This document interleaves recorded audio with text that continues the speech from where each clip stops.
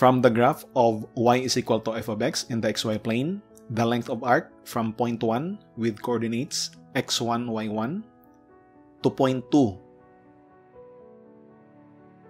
with coordinates x2, y2 can be defined by these two integration formulas. One is in terms of differential element dx and the other is in terms of dy. The purpose of this video is to show you the simple derivation of these formulas. Good day, MATHalino! Again, I am Junvert.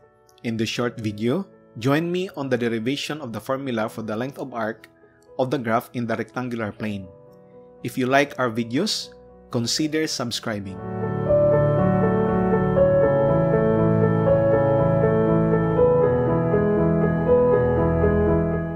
The formula is based on the assumption that the entire graph is composed of tiny straight lines in infinite numbers.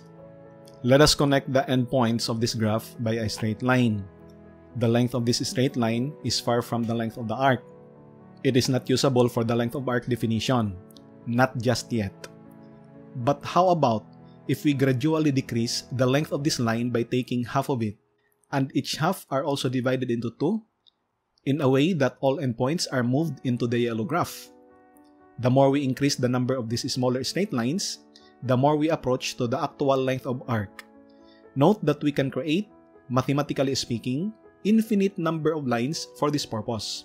And summing up all the lengths of these tiny straight lines will lead us to the exact length of the yellow curve. How short are these straight lines? Infinitesimally small. Let us take a differential element in our graph in the form of a right triangle. The hypotenuse of this triangle is the differential length of arc DL. And let us call the legs of this triangle as dx and dy. We can then apply Pythagorean theorem to this right triangle. dl squared is equal to dx squared plus dy squared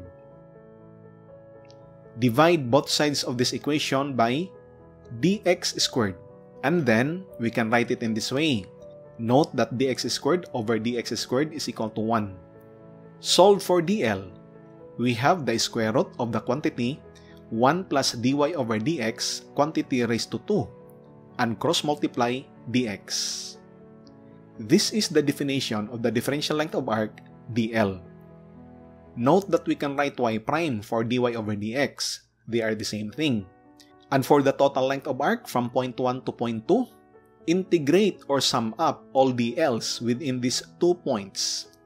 And because our differential element is in dx, our limits of integration are from the abscissas of points 1 and 2, which means that our limits starts from x1 to x2. And this is our formula. If from our Pythagorean theorem, you happen to divide it both sides by dy squared instead of dx squared, we will arrive to this definition of differential length of arc, where the dy and dx change in position. We can then call dx over dy as x prime to lessen the burden of writing.